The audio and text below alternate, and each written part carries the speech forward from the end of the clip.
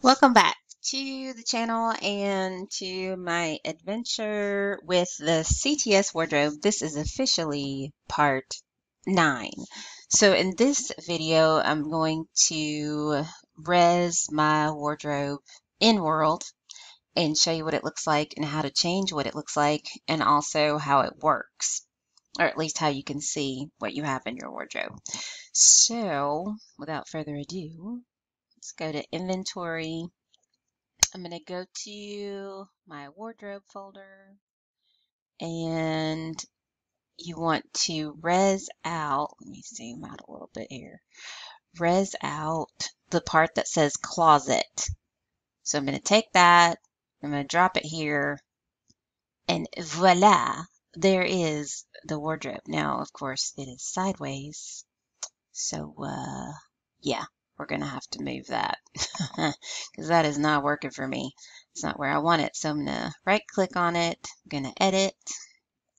I'm going to turn this sucker around. Whoops. Oh, if you hit control, if you hit the control key while you're in edit, you get the little rotation. Otherwise, you can hit rotate and it'll rotate it for you. Okay, let's go back to move because I want it against this wall. Where's the wall?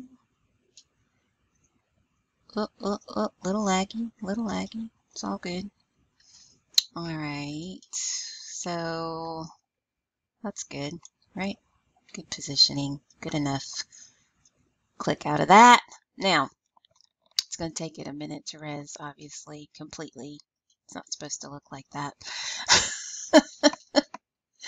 okay, so when you're ready to change what it looks like, we're going to come down to the menu, those three little bars, and I am going to go to Setup. And from Setup, you go to Closet Styles. And then it brings up this menu. So you can change it, what it looks like, just by clicking on the actual style that you want. There's that one.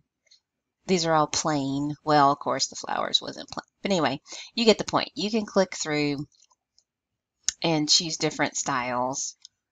This is the one that I like. So I'm going to leave it at that and close that out.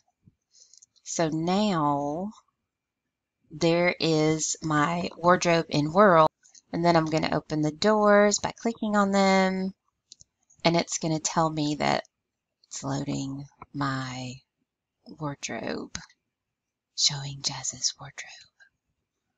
Okay, so in order to get it to show up when you mouse over the white part right here, I can hit the home button and it's going to probably take it a minute to actually show up. There it is. So there is my wardrobe. And if I click on show all, it's going to show all the stuff in my wardrobe. And technically, I can use it from here, right? So that's how you use it in World.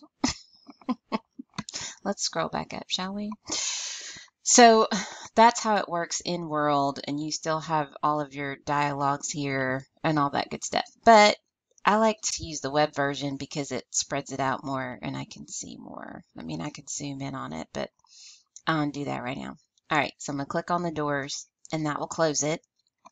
But basically, that's how you get your wardrobe in World to be able to look at it without going to the web page. So that is short and sweet. And in the next video, in part 10, we're going to work on how to do a base body.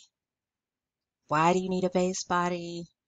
Because that way, no matter what you have on, you can get down to your very basic body to get dressed again in one click of a button. So I did learn how to do that. So I'm going to show you guys how I set up my base body in the next video. So until then, peace out and I'll see you in a bit.